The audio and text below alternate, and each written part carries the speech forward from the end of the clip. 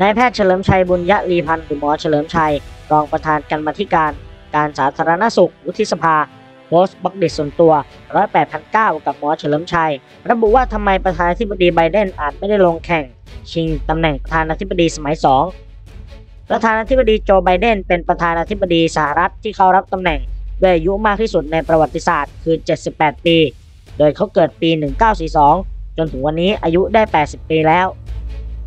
ในอดีตประธานาธิบดีโดนัลด์ทรัมป์เป็นผู้ที่เข้ารับตำแหน่งด้วยอายุมากที่สุดถึง 70 ปี และก่อนหน้านั้นประธานาธิบดีที่มีอายุสูงสุดเป็นอันดับ 3 ในประวัติศาสตร์ ก็คือโรนัลด์เรแกนเข้ารับตำแหน่งด้วยวัย 69 ปีเรื่องอายุอาจจะไม่ใช่เรื่องที่สำคัญที่สุดสำหรับการทำหน้าที่ แต่น่าจะเป็นเรื่องสุขภาพมากกว่าหมอเฉลิมชัยบอกว่าโจไบเดนแม้จะมีอายุมาก แต่ร่างกายต้องถือว่าแข็งแรงกว่าคนวัยเดียวกัน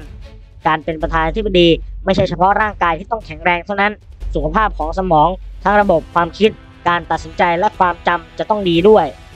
หลังจากผ่านการดำรงตำแหน่งมาได้ระยะหนึ่ง ก็มีคำถามตามมาเป็นระยะว่าเขามีความเหมาะสมในการดำรงตำแหน่งมากน้อยเพียงใดเพราะแม้เขาจะมีสุขภาพทางกายที่ใช้ได้ แต่เรื่องสมองนั้นน่าจะมีปัญหาในเรื่องของความจำโดยประธานาธิบดีไบเดนได้มีการพูดที่ผิดพลาดแบบไม่น่าเป็นไปได้ 2-3 ครั้ง และในกรณีล่าสุดเกิดขึ้นในงานปลูกต้นไม้ ที่บริเวณสวนของทำเนียบขาวเอง เมื่อเสร็จสิ้นแล้วประธานาธิบดีไบเดนเดินผิดทาง ในการกลับเข้าไปทำเนียบขาว สถานที่ทำงานและอยู่อาศัยของตนเอง เมื่อมีผู้เตือนให้มาถูกทาง ประธานาธิบดีไบเดนก็แสดงสีหน้าแบบงงๆ แต่ก็เดินกลับมา อันนี้จึงเป็นจุดที่ทำให้มีความวิตกกังวล กับการทำหน้าที่อันสำคัญยิ่งในวาระที่เหลือ และคาดกันว่ากว่าเขาจะดำรงตำแหน่งจนครบวาระแรก ซึ่งจะมีอายุมากถึง 82 ปีนั้น เขาอาจจะไม่อยู่ในสภาพที่พร้อมจะลงแข่งขัน ชิงตำแหน่งประธานาธิบดีสมัยที่ 2 ก็เป็นได้ ซึ่งทางฝั่งริพับลิกันก็มีคนที่โดดเด่นและเตรียมตัวล่วงหน้ารออยู่แล้ว ก็คือประธานาธิบดีโดนัลด์ทรัมป์ซึ่งมีวัยอ่อนกว่าถึง4ปี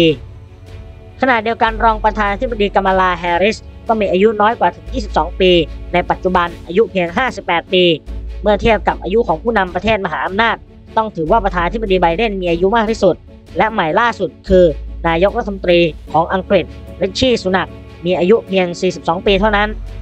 โอกาสที่ประธานาธิบดีไบเดนจะได้ลงชิงตำแหน่งสมัยที่ 2 ในอีก2ปีข้างหน้า แล้วจะต้องทำหน้าที่ไปจนถึงอายุ 86 ปีนั้น น่าจะเป็นไปได้ยากเลยทีเดียว